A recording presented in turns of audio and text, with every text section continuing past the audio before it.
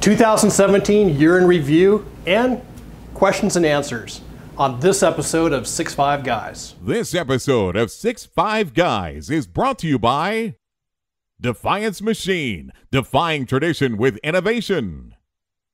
R-Bros Rifles, precision on another level. JC Steel Targets, the industry leader in quality AR 500 steel targets.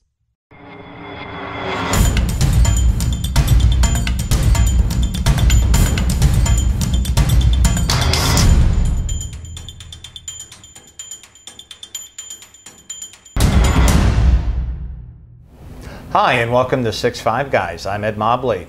And I'm Steve Lawrence.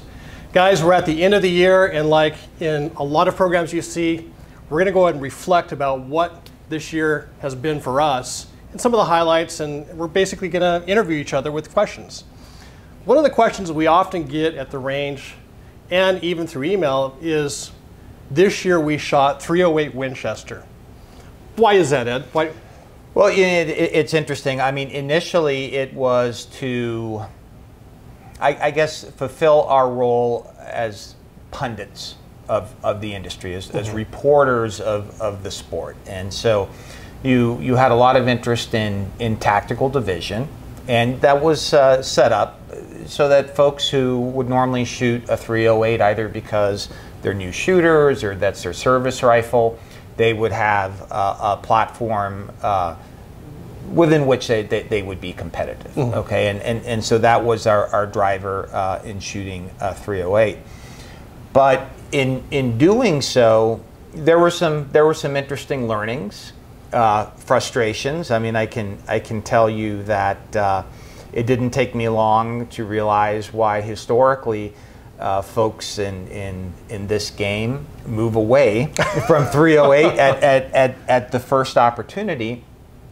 But then it, it also uh, caused me to, to reevaluate the, the benefits of, of having a, a 308 as a, as a practice mm-hmm. mm-hmm. rifle. I, I never thought that the 308 uh, would, would really make a good practice rifle or if you didn't yeah. have a 308 let's say you're shooting 6.5 or 6 mm-hmm. mil should you should you build a 308 or should you build a 223 trainer and after my experience with the 308 and, and some of the opportunities for improvement that it highlighted in my personal shooting form namely mm-hmm. recoil management it, it, it kind of changed my mind and and I think there are a lot of merits that even if you may not want to compete with a 308 or, or compete in, in tactical division, there are a lot of merits to using a, a 308 as a as a trainer rifle. Yep.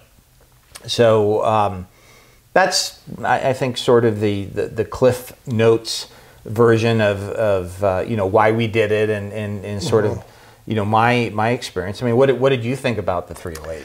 Well, I know when we talked about what we're going to compete in in 2017, um, at the time there were a lot of new bullets that came out that we had not tested that you know received a lot of attention and some fanfare.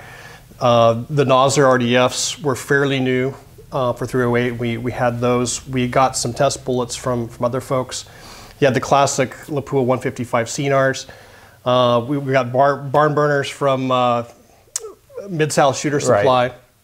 And then you had uh, Hornady with their ELD, uh, another really good bullet in 308. So all of those kind of came onto the scene roughly within the time same time frame, and there was a lot of interest on our part to go test that. And hey, why don't why don't we go ahead and just shoot 308?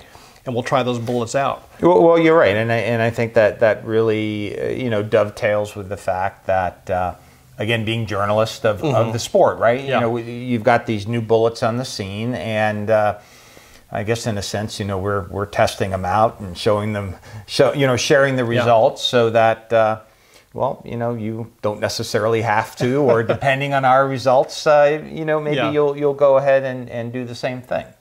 And one one other thought in terms of 308 was, you know, we run into a lot of new shooters or folks that are interested in getting into the sport of, of long range precision and, and PRS type shooting, and they're not sure what rifle to, to start with as far as a caliber selection. Mm-hmm. And we always tell folks that are new to the sport, it doesn't matter. Bring what you have. And in fact, a lot of guys have the classic 308.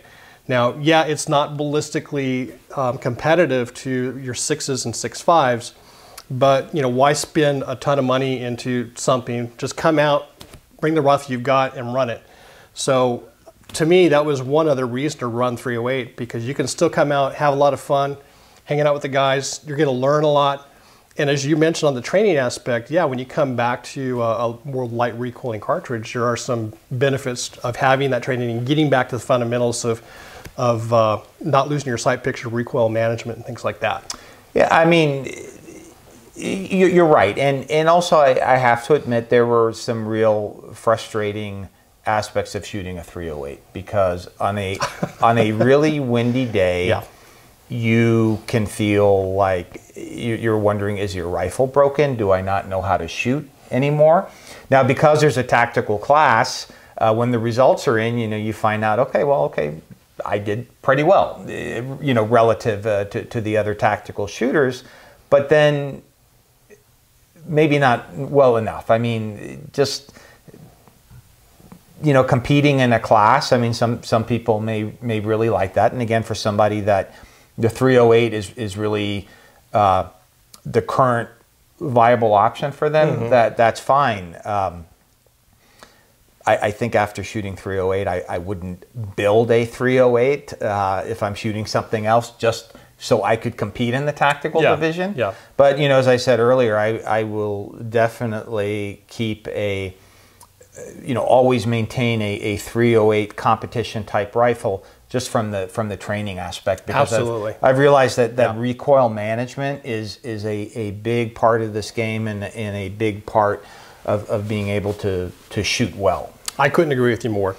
So let's move on to another question, gear. We've taken a lot of look at different gear. We see gear at matches, new things that people are using and, and, and stuff that perhaps has been around for a year or two, but has really been adopted by the top competitors.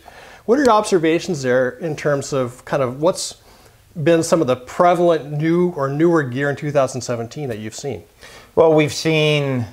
I mean, this isn't necessarily new for 2017. You, you've seen the, the, the, proliferation of the of the Reezer uh, game changer bag, Absolutely. and then some of the the imitations uh, of that bag, mm-hmm. because it's it's it's a really useful. It's a, it's a very fungible uh, piece of equipment. I mean, you have a lot of folks that in a one bag match uh, would would go with that, you know, hands down, since mm-hmm. you can use it, you know, in the front of the rifle uh, and the the back of the rifle. But also uh, from a, a, gear standpoint, you know, people have been shooting six mil for a long time, but it's really interesting to see how the the six dasher where you heard some whisperings about it in 2015 and i remember in you know the early part of 2016 you know people would be joking about those dasher guys. But you, you look at some of the success that people have had with that cartridge. Yeah. I, I think it's very notable. But then you know a lot of people initially criticize the dasher because they're like oh you can't push that six mil bullet at like you know, a, a scorching velocity, right. 3150. But a lot of folks have, have started to recognize that it is better to find a load that is more consistent and predictable and reliable rather and chasing that extra 100 fps right because yeah. as, as we've seen you know in some of our load development and in discussions with with other uh, folks that are really in the know you, you tend to have an accuracy mm-hmm. node near max peak pressure, and then there tends to be one uh, right below that. And with usually with that consistency you're talking about, right? Yeah. So, so I think traditionally, you know, before you know 2017, mm-hmm. a lot of the conversation was around you know, I can't get to, you know, 3150 without flattening primers, you know, and, and yeah. people felt really, you know, that they were missing out because they couldn't get to 3150. Now the conversation's more around, hey, that that that next lower accuracy node of you know 2950-ish mm-hmm. in a 26-inch barrel. That's what what most folks are are, are talking yeah. about now. Yeah, in fact, I, I would agree with you. It's been quite the trend when you look at what the top finishers. I think the top 10 in the PRS finale all of them were shooting a six millimeter cartridge, whether it's you know the, the BRX or the six Dasher. So, uh, or even the the six Creedmoor. So, pretty amazing. Well, and, and also the, the, the you know some of the reservations people may have of, of shooting six uh, millimeters is barrel life mm-hmm. and and perhaps you know dropping down to that lower accuracy node may give you some additional barrel life. Yeah. I don't know if it would necessarily be uh, you know a great leap forward in barrel life, but it, it, certainly doesn't hurt. Yeah. One other trend that I've noticed though is also the the prevalence of people adopting chassis. Stocks are still very popular, but I'm starting to see a shift in terms of the top competitors using a lot more chassis. Um, you know, I'm not sure what to make of that. I, I still like stocks. I like chassis, but uh, well, these are chassis. I mean, uh, on you yeah, know, you got the rail, you got the MPA rail embedded within the stock. and and again, you know, these actions are not bedded. I mean, it's a it's a it's a chassis from mm-hmm. Manners. Um, so I think you know there's just the flexibility if you want to. Mm-hmm. You can you can move from you can have different chassis. I mean, I think both of us, we already have a, quite a collection of, of different chassis. Yeah. And, and it's nice to just, you know, quickly move from, from one to another. Of course, mm-hmm. if you, you know, bed an action in a stock, that limits your ability of, of, what you could do with that stock. If you mm-hmm. wanted to use it with a different action, you'd, you'd have to rebed it. So, right. so I think people are realizing that uh, chassis are certainly, you're not losing out from an accuracy standpoint. Mm-hmm and there's there's a flexibility and and I think just ease with which uh, you can just try out different things or if, if you have you know different actions say you've got a 308 and then maybe you've got a, a six mil you know competition action you would just need to invest in one chassis and, and just move uh, those actions in between chassis I right. mean, that, that's certainly another right. consideration absolutely Okay, Steve. So I've, I've got another question uh, for you. So, uh, you know, why why fewer videos? I mean, have we have we lost interest? Are we having issues? I mean, what, what, what, what's going on? Well, I mean, you know, we always have the constant pressure. If we want to put fresh new content, we realize there there's uh, folks that are following what we do and interested in some of the information we're putting out there now real life actually gets in the way of, of this pursuit. And in fact, um, we haven't even participated in as many competitions this past year as we would have liked. Um, and I would kind of put it in two different things within that personal time category. One is work, because right. um, you, you, and I both have um, employers that keep us very busy. We travel quite a lot for a living. And um, we both have kind of a new set of responsibilities that we're managing. And so that just takes time out of kind of what we, we have left to do on the personal side. And then me personally, I've had health issues. Um, you know, I'm, I'm in my mid 50s, and um, you I've look been. Great. You look great, by the way. Thanks. I'm suffer- I actually have uh, gout, which is a form of arthritis. Um, it's um, driven by a couple of things, um, primarily heredity, because my dad had it, and then also um, you can control it through both medicine and what you eat. So, um, and it got to a point, I, have been suffering from this chronic condition for the last few years, but have managed it. And this year it, it, got so bad that I was almost off my feet for two months. Yeah, there were a number of matches that I, I remember that yeah. uh, we both signed up for, and you RO'd and, and, and, and I shot. I mean, and, and I've, I've gotten gout now and then, and here we sound like two old codgers talking about. uh, yeah, illness is associated with age, and I think people are getting ready to, to tune out. But all I can tell you is that um, gout is the, the if, if you were to, to hit your toe with a ball peen hammer, I, I think that is the level of pain mm-hmm. associated with gout. Yeah. And yeah. it can, you know, your feet are the most prevalent place where you feel at your toes. Um, but I've had it in my knees and my ankle. Um, you know, it's usually your, your extremities where you get it, even in my fingers when it was really bad. Um, luckily, it's under control. Um, I've been on uh, meds, but again, a function of the medication I've been on, I actually ended up putting on about 20 pounds of weight this year. So as we go into 2018, one of my goals is to get back into fighting condition and, and try and get to, to, to lose that amount of weight. And uh, it'll be I'll be in a much better position to compete and, and have fun doing this. Yeah, and, and I've, I've been successful in, in losing a bit of weight, but I still need to lose a, a lot more. And so, just as you're going to have a, a renewed focus on, on your health, I'm, I'm going to be doing the, uh, the same thing. And what's encouraging is uh, my wife uh, wants to do uh, the, the same thing. So, mm-hmm. The uh, and I'm, I'm just going to put this out here to, to hold myself accountable is I've, I've, realized I'm lactose intolerant. Okay. Okay. So I'm going to be drinking my coffee black. Oh, okay. and, That's and a change. Yeah, and if anybody knows me, okay, I mean, you love you, that heavy cream. oh man, let me tell you. But I, I, I realize, you know, without. Yeah. I mean, just look up lactose intolerant. You'll you'll know what it what it does. Mm-hmm. But I, I, I just notice I can literally you know not you know drink coffee black. I don't you know have those uh, issues that you know can stink up mm-hmm. a room if you know what I mean.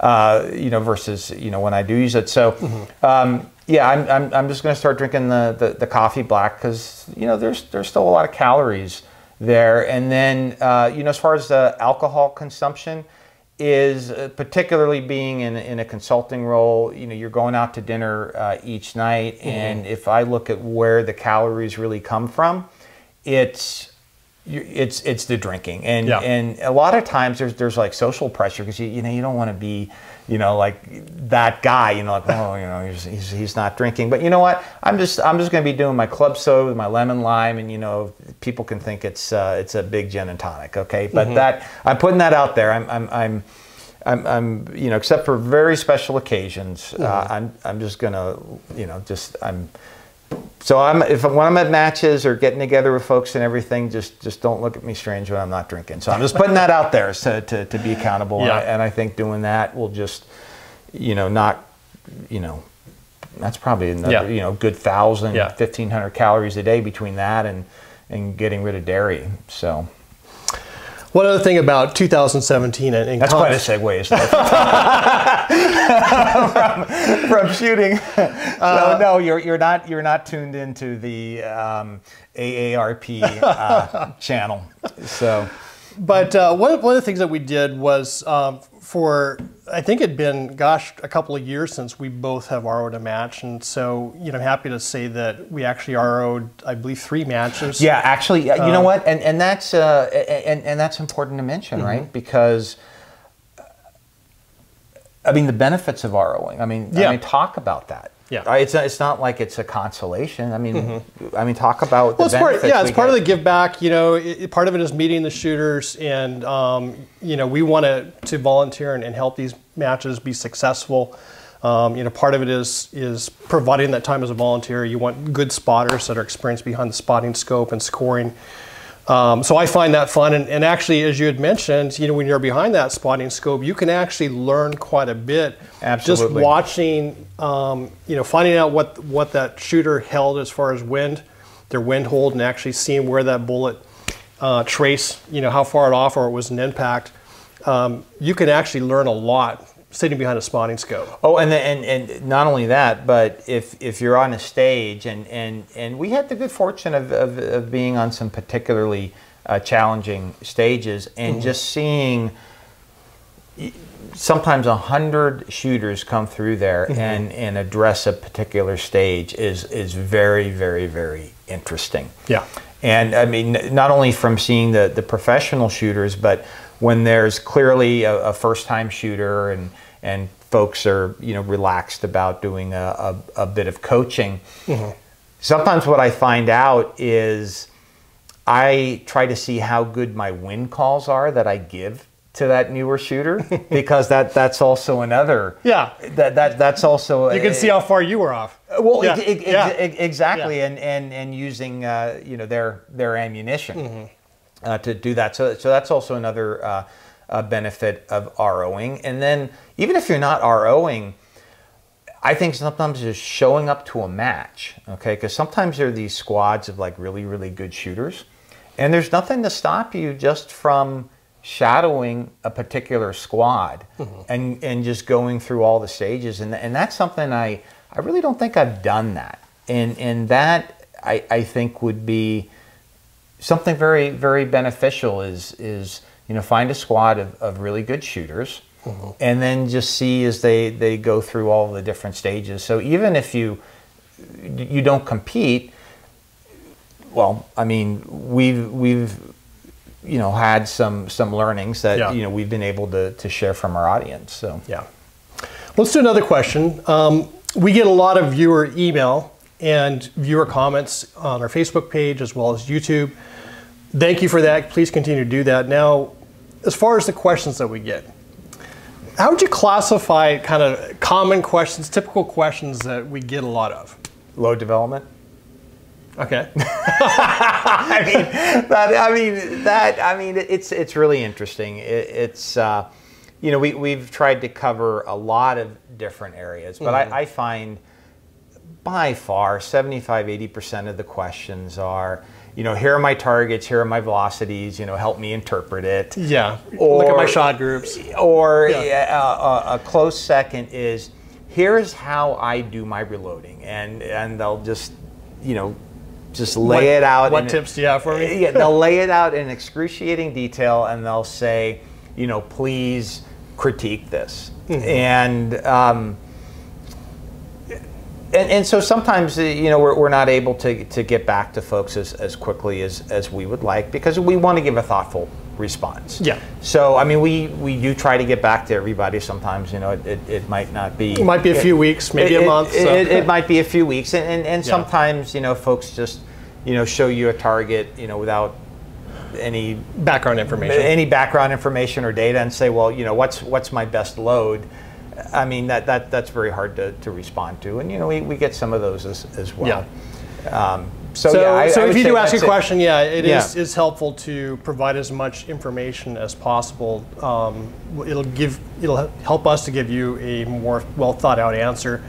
Um, things we can't help you with though is like I've seen a number of these questions. Like I bought this brand new rifle, what would be the best load for it? Oh yeah, Um, yeah. You know, well, yeah. what are you shooting at? What bullet do you want to use? What kind of powder do you have available? There are just so many questions. Um, and 6.5 Creedmoor, as far as the 6.5s are concerned, are probably the most popular out there. That's like the new 308. Yeah, and um, although we have shot 6.5 Creedmoor, we don't actually own rifles chambered in 6.5 Creedmoor. We don't load for it.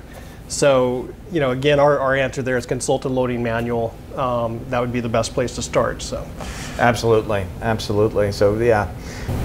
Okay, so here's an here's another question that the the audience is probably eager to hear. I mean, they ask about why are we shooting 308, Mm-hmm. and so they're probably wondering, all right, are you going to stick with 308 or are you going to go to another cartridge? So, Steve, what what, what are we going to Well, do? I think we I let the cat out of the bag. I for you guys that follow us on Instagram and Facebook, actually got you know a, a big load of goodies from Grafs, and uh, had kind of laid it out. And, and so we will be shooting as part of the six millimeter club, uh, specifically six by forty seven, um, also referred to by some of the folks that we know as six WTF, and. Uh, So we'll actually be using uh, the 110 Sierras as far as the bolt's concerned.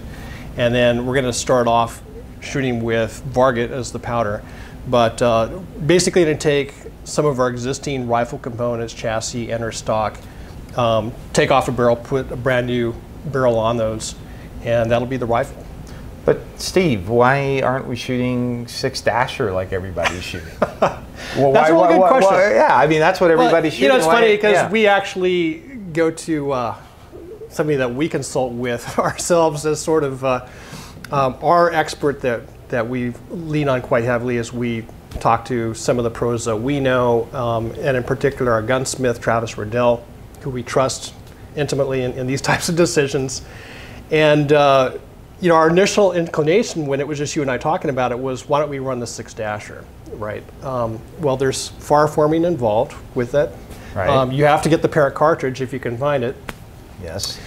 Um, the 6.5 by 47, uh, when I talked with Travis, uh, now he's been shooting the, the 6.5 or the 647 or the 6 WTF with his brother Jesse, gosh, for you know Years, years, years, seven, yeah, eight years.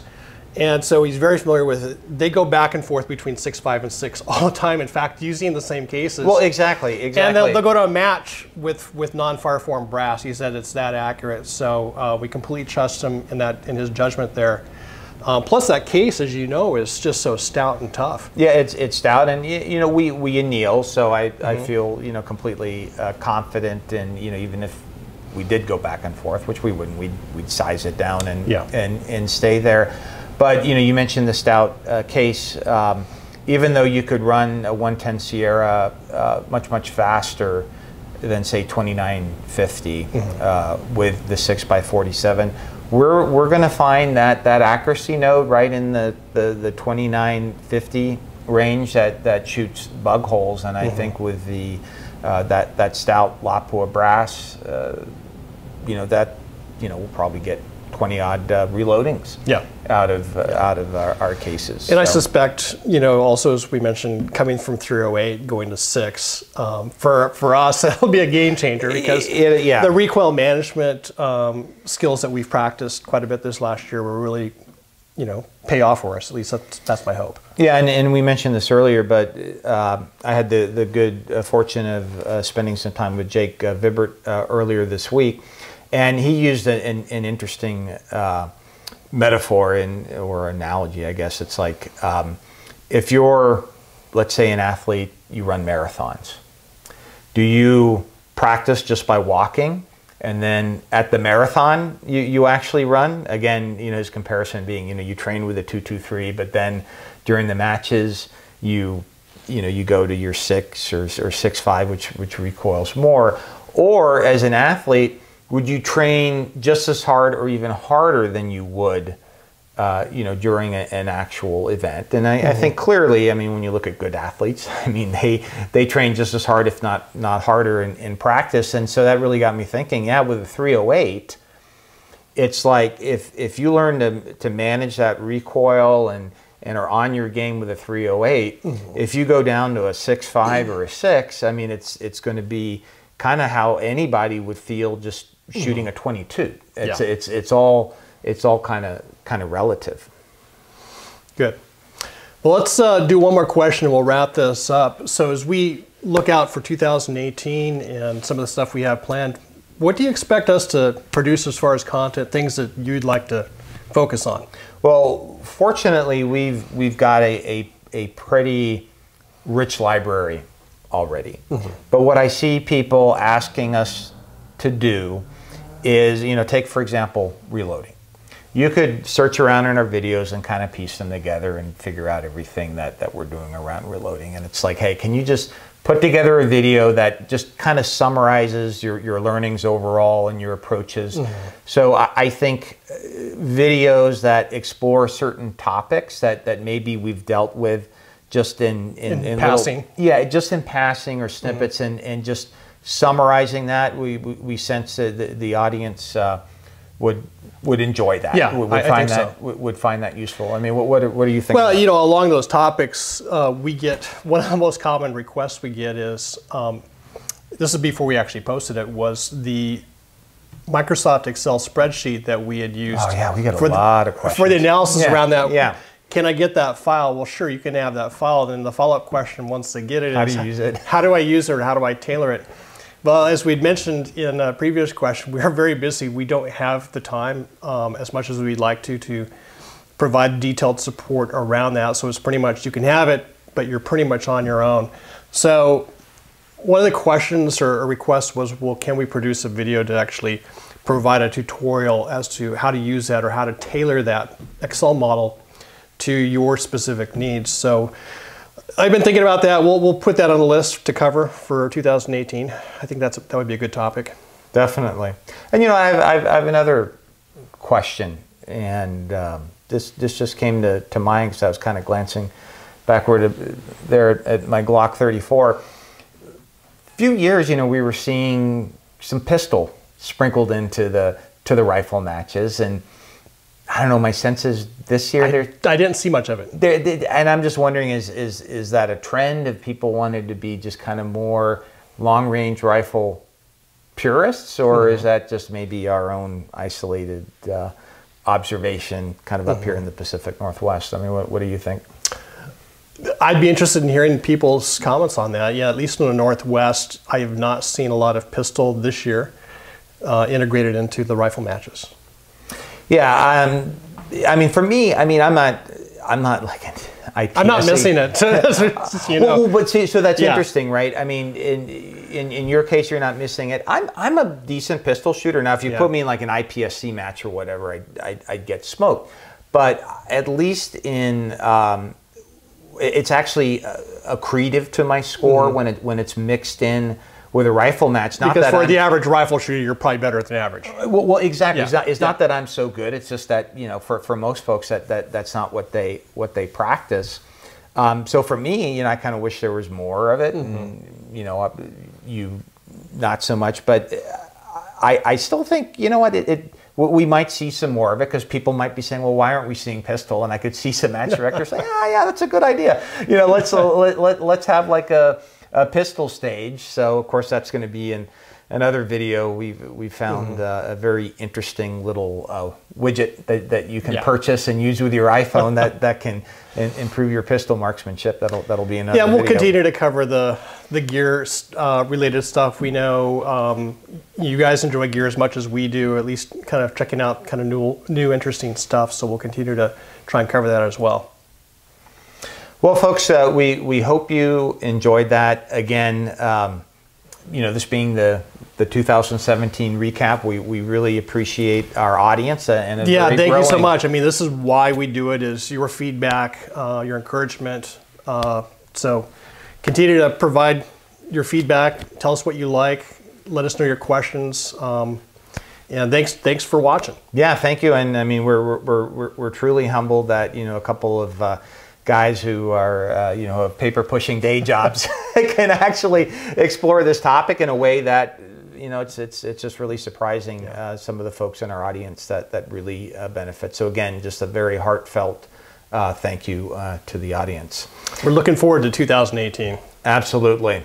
Well, folks, remember, life's an adventure. Stay on target.